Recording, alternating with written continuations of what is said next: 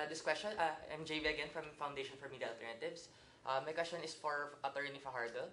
Um, you mentioned a while ago that there are five um, uh, uh, means for security breaches, and it's not hacking is not one. Of, is not the top one.